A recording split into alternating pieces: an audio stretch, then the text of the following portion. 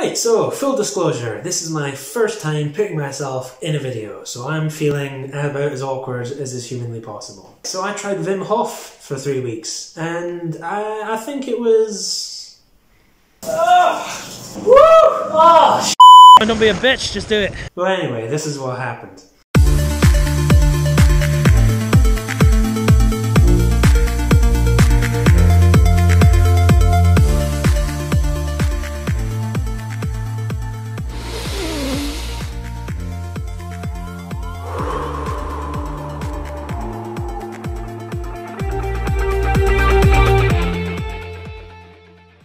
I want to talk about Wim Hof. If you haven't heard the name Wim Hof, you've probably heard of his title, which is The Iceman. That name might sound like the name of a serial killer at the moment, but as I go on and describe him a bit more, it's going to make more sense. Wim Hof gained most of his popularity to begin with from being able to withstand incredibly low temperatures, temperatures that would kill most normal people. I mean, the guy's just got this stupid list of achievements that goes reaching off into the distance. He's climbed Kilimanjaro in his underwear. He's ran a half marathon barefoot within the Arctic Circle. He's sat submerged in ice for over two hours. He's, he held the world record for swimming under ice for a fair amount of time. And granted, they seem to follow a particular theme. Maybe that's how he got the nickname. It gets crazier. he claims that he is able to manually influence his nervous system, specifically his autonomous nervous system. The autonomous nervous system is broken into two sections the sympathetic nervous system and the parasympathetic nervous system. The sympathetic nervous system covers things to do with the fight flight response, whereas the parasympathetic nervous system affects things to do with feeding and breathing. Wim Hof claims to be able to control both of these to be able to do things that you normally can't do at will. For example, like if you just sit down, you sit in a chair and you just try and raise your heart rate without moving or exerting yourself in any way, you won't be able to do that. I mean, you can try, you'll look really stupid, but I mean, you know, give it a shot, maybe, maybe you can. One of the most impressive things that he claims to be able to do is he claims to be able to control his autonomous nervous system and therefore directly influence his immune system to fight off infection given everything that's going on with you know the world at the moment, I think you can see why he's suddenly gotten a lot more popular if he claims that he can fight off infection with the power of his body. Now, when you first hear someone say something like that, you probably assume this guy's is full of it. He's lying. This is complete rubbish. This is quackery. It's a hoax. But he's managed to prove in many different scenarios, most notably being a medical experiment that took place wherein he was injected with an endotoxin, which should have caused some kind of bodily effect. But using his techniques, he managed to suppress that poison and come out the other end totally fine. Along with this list of physical things, he claims that it reduces stress, helps with mental health, and a slew of other things. So the question of the century is what is this technique with which he can do all these amazing things? Brace yourself, right? The special technique is breathing. Breathing. Yeah, breathing. Oh yeah, and um, cold. Cold. Yeah. So it's breathing and cold. Breathing and cold. Breathing and cold. What the Right, so Wim Hof, also known as the Iceman, is a crazy, weird Dutch guy that claims that he can control every aspect of his immune system with breathing and cold water. That's that's what he is. And the craziest part of all of this, after having just finished that sentence, is that he's telling the truth, or at the very least believes he's telling the truth which just makes this whole situation even crazier, to be honest. So Wim Hof has a set of breathing techniques that he prescribes along with regular cold exposure. These together allow you to tap into your autonomous nervous system and control your immune system. Is it true? I don't know. But frankly, quarantine's got me really, really bored, so I'm gonna give it a shot. And worst case scenario is I die of exposure.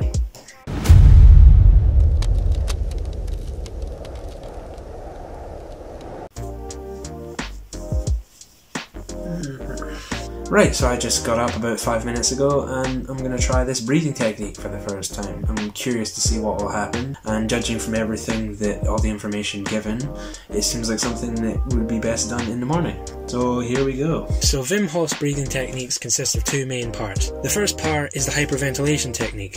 For this part, you want to take in deep breaths, deep like as much air as your lungs can hold, and then when you exhale those breaths, you don't want to breathe all your air out. You just want to breathe out some of it. And then you take in another deep breath and breathe out partially, and another deep breath and breathe out partially, and so on for about 30 to 40 breaths. The logic behind doing this is that it's going to over oxygenate your blood, or so Wim Hof says, and this apparently leads to these abilities that he talks about. The second part of the breathing technique is the breath hold. Once you've finished your 30 to 40 breaths, hyperventilation, you breathe all of your air out and just sit there with empty lungs. Now that sounds really, really odd because you shouldn't be able to hold that for very long, but you will be able to hold that for far, far longer than you expect to. It really shocked me quite a lot how long I was able to hold my breath for. Once you feel the need to breathe again, you take a deep breath in and hold that for 15 seconds. You then exhale comfortably and rinse and repeat the whole process all over again a further three or four times depending on how you feel. So, initial opinions. Um, I would say that was very, very enjoyable. Actually, yeah, that was that was very pleasant. I've done controlled breathing before, and I've tried meditation before, and this felt like a sort of fast track in both to reaching a more relaxed state. Like especially on that long exhale out, after sit, I mean, you sit there and you just feel completely calm, and it was very, very nice, almost like this meditative state. I mean, to begin with, when you're doing the heavy breathing, you're hyperventilating deliberately, so that's um, not the most. Oh, it's not unpleasant, but it's strange to do deliberately. It's a strange experience. On that last final exhale, and you breathe out all of your air, I mean, your whole body is tingling from your fingertips and your toes and everything. It's a strange tingling feeling throughout your whole body, which a bit scary to be honest. When it, um, but after the second and third time, I kind of got used to it because you kind of just work, you accept it and you move through it, and it's not that bad. But it was definitely a new experience. Another thing was you could feel like my body temperature changing up and down, which according to the app is completely normal apparently. You can feel tingling and you can feel your body temperature changing and that's normal. And I feel like that was a very big help because if I'm being honest, if I felt that way without any prior knowledge other than how to do the breathing, I probably would have panicked and thought I was doing something wrong. Now that I've done the breathing, okay, comes the really fun part. I get to go and freeze myself in a really cold shower, so that's going to be, I'm sure that'll be just lovely. Right, so here we are, about to take a cold shower right here. And I'll be honest with you, I'm not really looking forward to it, you know. Here we go. Just get it done, I guess. Oh, wish me luck.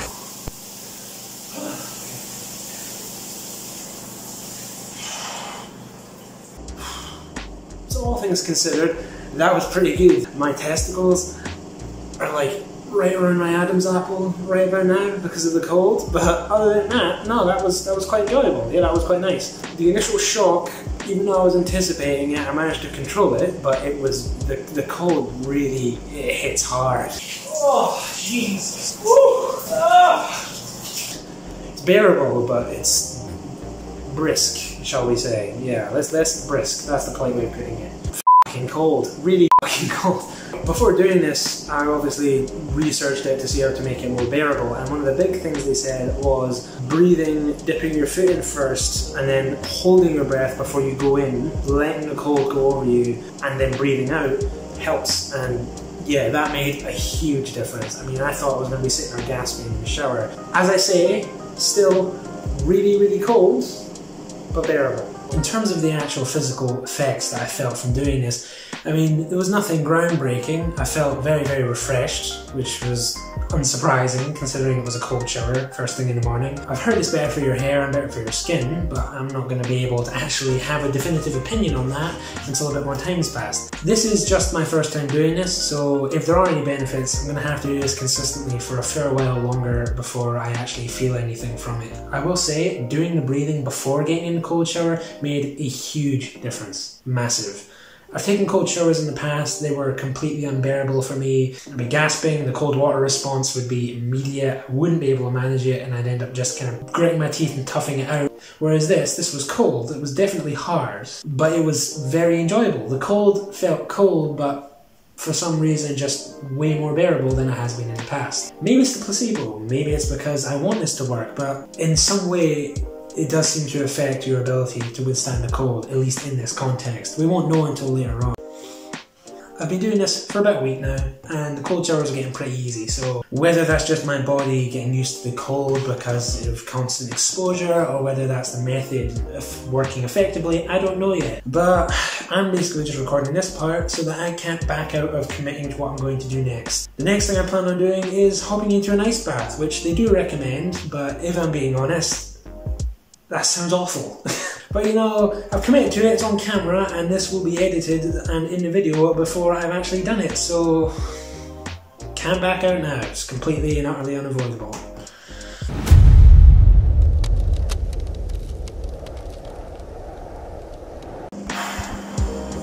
Right, here we are. Uh, and like I said, I've already committed to it before doing it, so I can't back out now. Here's the bathtub it's going to be of ice soon, and um, then I'm going to jump in it. So that, that'll be fantastic. But you know, here we go. So if you can't tell from that clip, I am pretty apprehensive at this point about actually getting into the ice bath, which is why I recorded that bit in the first place. It was to more or less bully myself into not chickening out and just doing it. Throughout the process of filling up that bathtub with water and sorting out my camera angles and everything, the stress was just beginning to mount and mount and mount. And I knew that with all of that happening, when I get into the bathtub, it's going to make all of the responses that much more extreme. By the time I'd filled that bath completely and I started putting the ice in, my stress had kind of reached critical critical mass. Oh god, I'm feeling regret now. Three, four. Let's feel how cold it is. Woo! Oh, That's gonna be really bad. Okay. So I started by just putting my feet in, as you would expect when getting into a bath, and that wasn't cold at all, to be honest. I didn't feel the cold even slightly, which gave me high hopes. I then lowered my lower half of the body into the water and I felt the cold immediately. I managed to control the cold water response, but it was still incredibly cold. I sat there up to my waist in the water before I decided to slide down into the water with my torso, but not before showing off that belly that I have lovingly crafted during quarantine. The main problem I had throughout this process was the bath, it wasn't actually big enough to fit me and I didn't fill it up with quite enough water. I think this made it feel worse because I wasn't able to just sit and be cold and deal with it. I had to keep moving around to try and cover parts of my body with the ice. All things considered though, I think it went quite well. I could have stayed in longer, but I wasn't comfortable to actually just sit in that bathtub. Ironically, that wasn't because of the cold, that was because of the shape of the tub itself. Right, so I've just gotten to the end of week two. I'm just touching base to talk about the effects that I felt so far. The breathing I like to begin with, so that's not surprising that I still like it now. However, the cold showers are another thing entirely. I'm surprised to say that I actually look forward to the cold showers now. They're one of the best parts of this, and it's very strange to want to get up in the morning and take a cold shower and enjoy it, but I'm loving it. After that cold bath, I feel like that was a psychological milestone, and now it's easier to more wholeheartedly embrace the cold as they keep talking about in all of these videos that I've watched online and all the stuff that I've researched from the app. That initial fear of the cold is now gone, so you're able to push yourself a bit more without as much anxiety about doing damage to yourself because you kind of feel out the parameters of your body and know to what level you can push yourself. The ice bath was very hard, and I haven't filmed any of the other ones I've done, which I regret, but they've gotten significantly easier. And it's not because I've gotten better at dealing with the cold, I think it's purely psychological. It's in my head, because as I said, I could have stayed in that other ice bath for longer than I did, but I didn't because of the shape of the tub. Let's talk about the health benefits so far. I myself am mildly asthmatic. I have been my entire life. The breathing has helped with this tremendously. Waking up and doing this very controlled breathing in the morning kind of sets me up for the rest of the day. One of the other things is my sleep seems to be much better. I feel more rested when I go to bed and I seem to fall asleep more easily. After doing some research, that is apparently a very common reason why people take cold showers, it helps with sleep. One of the biggest things, I think, is also the change in psychology. Being able to get up every morning and start the day with something that's very rigorous and quite difficult by most people's standards kind of sets you up psychologically to really get on with your day and feel good about moving forward and feel more productive. And that's helped a lot considering that I'm currently halfway through my final year of university, so that added motivation has been very, very helpful. One of the other things that you see Wim Hof talking about a lot on his app and in his videos is going into nature.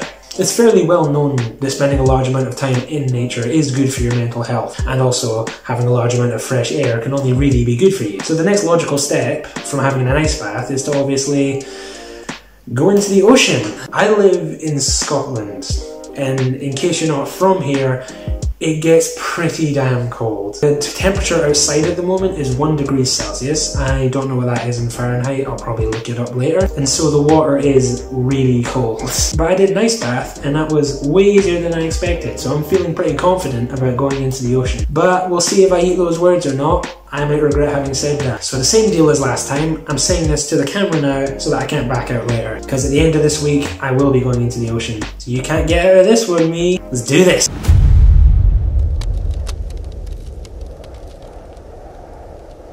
Right, there's the ocean. Here's me. Right, so before actually getting into the water, I sat down by the water, cross-legged, and did breathing exercises. While I was doing it, I could feel my body acclimatizing to the cold, so by the time I'd taken my shirt off and gotten ready to walk towards the water, it didn't feel cold at all. In fact, when I first stepped into the water, I barely felt the cold at all. What I failed to mention before I call when I called myself out here is that I am acutely thalassophobic. So this is going to be intensely nerve-wracking, but here we go. So, in case you didn't hear that, I am thalassophobic. Really, really thalassophobic. Mind blowing levels of thalassophobic. My record for getting freaked out by the ocean is going to my ankle depth, feeling the sand moving underneath my feet, freaking out and running right back out of the water. So, needless to say, I'm a bit afraid of the ocean. Come on. It's cold, very cold, oh, but bearable, like I said. I'm gonna try and get out to my knees. Very nervous. Because of this fear of the ocean, I was doing things in order to make myself feel better. And what you might have noticed was me talking to myself. Come on, don't be a bitch, just do it. Come on, you got this. Woo! Oh god, why did you talk to yourself so much? Ah. yeah, looking back on that now, that's really, really cringy. But, but to be honest, in the moment it really helped, so I don't regret it. Alright, maybe a little bit, but not much.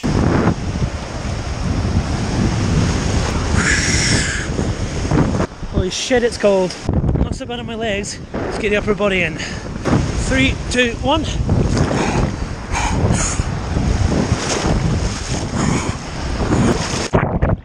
Woo!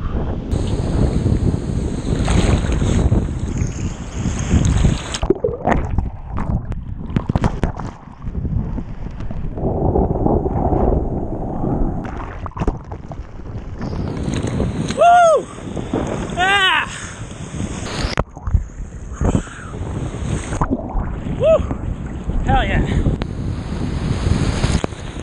Oh, let's go out. I'm gonna go ahead and blame freezing cold and my intense fear of the ocean for these horrible, horrible camera shots. Yeah, that's definitely why. It's not because I'm absolutely dog with filming. Fear of the water. That's that's we'll say that's what it was. So it actually turned out that that incredible cold helped with my thalassophobia a lot. I was so focused on dealing with the cold that once I was in the ocean, I was just able to ignore it because I was so focused on the breathing. I can't help but feel like that's one of the psychological aspects of the Wim Hof method, is that ability to conquer fear. I got to the point, as you can see later on, I'm actually dipping my face in the water and smiling like I enjoyed being in the ocean, and I cannot emphasize to you enough how strange that is. I am terrified of the water. But maybe this will be the jumping off point for me conquering my thalassophobia. So I guess I'm gonna have to make a video on that as well and document me my pants. That'll be good. I'm gonna go ahead and put a disclaimer here. I was not there on my own. I brought someone with me and they had hot drinks in a flask, clothes and a towel. So if you're thinking about doing it, don't just casually go to freezing cold water, jump in it and just hope for the best. Make sure you take the necessary precautions.